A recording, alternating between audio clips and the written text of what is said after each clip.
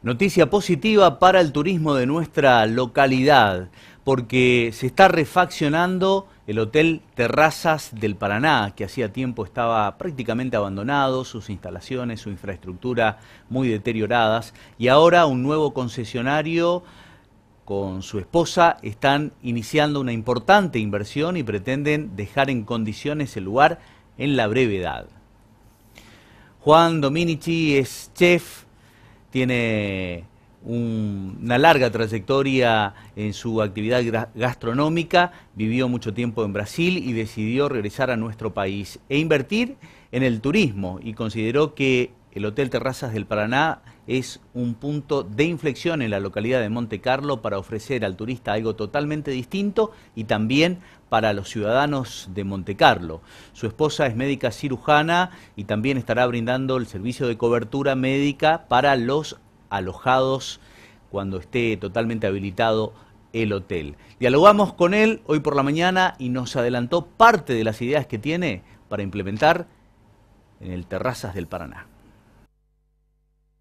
Eh, la idea justamente nació de una idea que teníamos eh, en proyecto de retirarnos justamente en un lugar así, un lugar hermoso. Eh, Monte Carlo tiene un montón de atractivos que, realmente disfrutamos y queríamos anexarle un lugar más. Queríamos anexarle un lugar más y aprovechamos este lugar como para empezar a refaccionar, armarlo y que la, la gente pueda disfrutar un lugar diferente. Realmente faltaba mantenimiento, es un lugar que le falta su mantenimiento, un mantenimiento necesario. Estamos en tratativa, queremos llegar para, para el verano ya, para que la gente pueda disfrutar de nuestros servicios. Eh, tienen, van a tener habitaciones individuales, eh, cabañas, eh, departamentos, un servicio de restaurante, la pileta, quincho, eh, y un, sinfín de, actividades también que pueden hacer aquí. En una primera instancia se van a habilitar las, habitaciones con la pileta y el restaurante.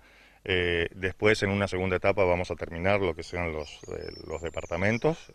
así que la gente puede disfrutar, venir a disfrutar tanto para comer en el restaurante, disfrutar la pileta un día, un fin de semana si quiere, con su familia o solo, como guste. Es una inversión, pero seguimos apostando a la provincia, seguimos apostando, a pesar de la pandemia, seguimos apostando a, la Argentina. Tenemos pensado que en 15 o 20 días más tendríamos habilitado el tema de pileta eh, y el restaurante, el restaurante. Y las primeras habitaciones, perdón en, caso, en el caso del servicio gastronómico es tu especialidad porque sos chef. También, también, así es que voy a estar eh, haciendo de comodín por todos lados. Eh, sí, la parte de, restaurante me toca también. Tenemos fe y tenemos confianza de que la gente de Monte Carlo nos va a apoyar justamente con, todo lo que, lo que es la, movida de acá del pueblo. Eh, el tema es, vamos a aprovechar la mano de obra local, que queremos dar trabajo tanto en el tema de mantenimiento y todo lo demás. Eh, queremos eh, darle otra, otro giro a Monte Carlo.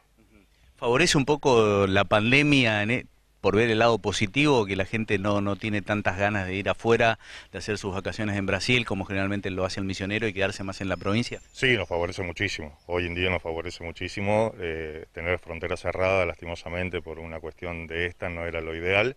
pero sí va a favorecer el, va a favorecer el turismo interno.